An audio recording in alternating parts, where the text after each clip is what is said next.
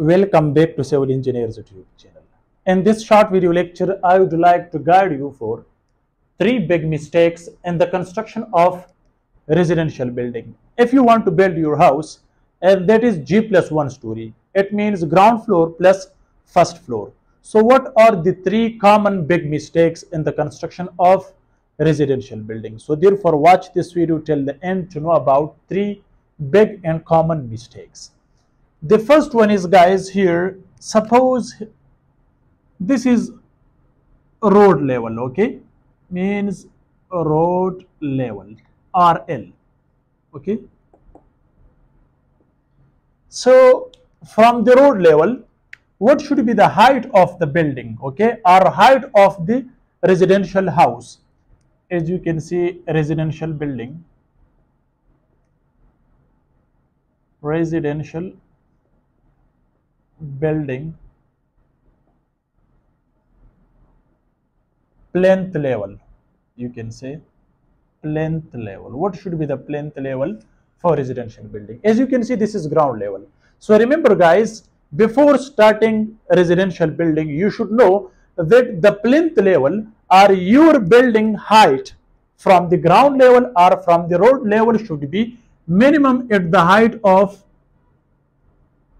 feet and 6 inches. This is minimum 2 feet and 6 inches. It should not be less than this.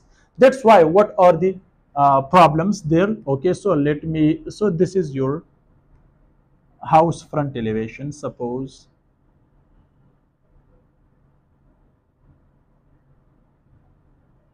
okay these are ventilation etc and here you can say that this is kind of main gate. You can say this is a kind of main gate. Okay. So showing main gate. So that should be the plinth level. It means like this. Okay. Your building height should be start from here from this plinth level to this floor level which you you can keep up to 11 feet. 11 feet. Okay? So but from the road level it should be minimum 11 feet plus 2 feet and 6 inches. So you can say this is 13 feet and 6 inches. This is full height from the road level. So what's the reason behind this? As you know, after one year or two years, the road level is going to the upward side. For example, 6 inches, minimum 6 inches. But normally they are keeping about 6 inches and uh, 9 inches. From 6 to 9 inches they are keeping. Okay but after two three years again they are doing uh, the uh, you can say uh, so they are making like concrete or brickwork okay? Or anyway so they are going for example this is road depth okay? Road depth means after four years minimum after four years they are going up to 12 inches. So when you are when they are going to the upward side so within within 15 years, they are coming to this level, to this plinth level. So therefore, when you are keeping the height of the plinth level more than this, you will be safe. Otherwise, one day will come here, for example, after 15 or 16 years, the road level will be here. This will be the road level. That's why because after four years, three years, two years, it depends on the government, especially in Pakistan, Afghanistan, in India, they are going to the upward side, in Africa, okay? But they are not removing the old material, but directly they are placing the brickwork or they are placing the concrete or bitumen. So the depth is going to the upward side. So when it's going to the upward side, your house level or plinth level should be inside the road level. In that case, the flood level is going or the flood or everything will be go uh, enter to your house, this main gate, and it can affect your building. So this is one of the big mistake it means minimum it should be 2 feet and 6 inches. So therefore i am recommending you normally you can keep from 3 feet and 6 inches okay? So here this level you can keep down but the building level should be up from the road level. Otherwise you will face more problem. This is very important. So this is the first big mistake. Now what is the second big mistake okay? Plinth beam construction. Plinth beam construction. And most of the house you can see the seepage. Okay? What's the reason? Because as you can see for example this is foundation. Suppose foundation is 4 feet. Okay? And we are directly place the brick masonry like this okay so on the top of the plinth level we are placing the brick masonry so before plinth level you should provide dpc uh, dpc not dpc but you should provide plinth beam here. Okay? To get a soft surface on the top of that you can provide the brick masonry otherwise the seepage is going to the upward side.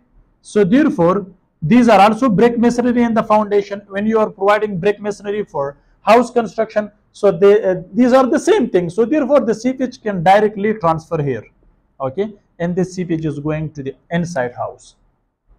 Then that is called wall cancer.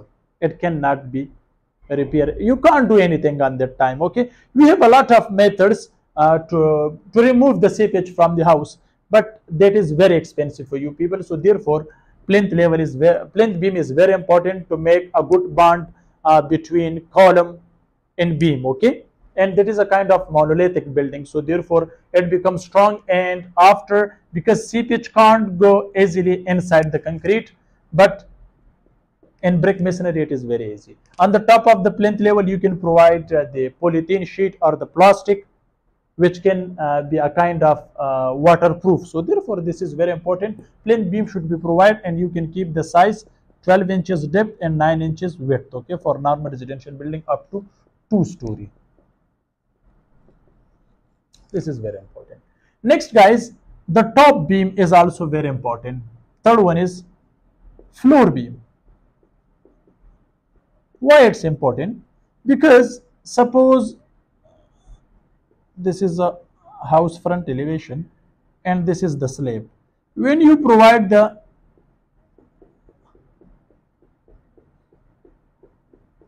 okay this is brick masonry so on the top of the columns when you directly place the slab so this is rcc slab okay so when the load comes on the top of the slab okay any kind of load so it directly transfer on the brick masonry wall. But if you provide the beam, floor beam, on the top of floor beam when you are providing the slab, so slab transfer the load to the beam and beam transfer the load to the columns and columns transfer the load to the footings. So this is load transfer mechanism. So floor beam is very important because when you want to remove the wall anywhere and you want to extend your uh, room or if you want to extend your living room anything so you can remove the wall anywhere. This is just a kind of partition wall. But if you provide the slab directly on the top of the brick masonry or any wall that is called load bearing wall so you are not able to remove or extend or remove the wall from there. So guys these are three big mistakes which i have discussed the front of you residential building plinth level should be minimum 2 feet and 6 inches but normally 3 feet 6 inches is okay. But the plinth level is very important uh, uh, for the uh, house construction. When you directly place or start the construction of brick masonry on the top of the foundation so you have more chances of seepage. So when you are providing the slab directly on the top of brick masonry and you don't provide the floor beam you will also face more problems because it can't uh, uh, give you a good strength. That's why because plinth beam or floor beam transfer the load to the columns and the walls are free. In that case you can remove you can extend you can do anything with the wall. So therefore these things should be remembered before starting residential building. Thanks for watching. See you in next video. Goodbye